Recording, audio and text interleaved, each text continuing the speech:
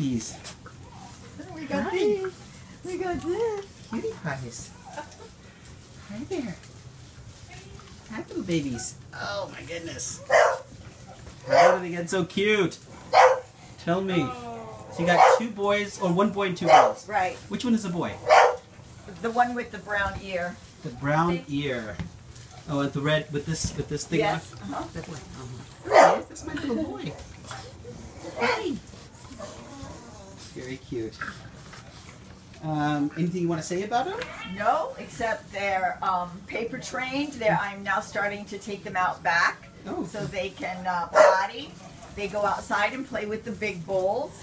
And they're good eaters.